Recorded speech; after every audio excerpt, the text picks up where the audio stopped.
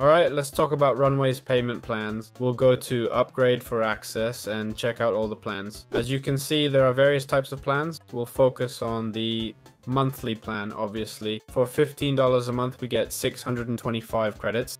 That's about 125 seconds of Gen 3 Turbo, or 62 seconds of Gen 3 Alpha. So the prices are quite high. We can remove watermarks and get 100 GB storage, plus unlimited editor projects and access to tech support at $35 slash month, 2250 credits and more space. Also the option to create custom voices at $95 slash month, unlimited access to frames, and 2250 credits monthly, same as before. Do I recommend it? No, I think it's expensive. Runway is one of the best tools available today I get why these are the prices, period. They're market leaders after all. If you're really into their video generation, well this is what's available. Prices are what they are, not much else to say. Hope you enjoyed. See you in future videos.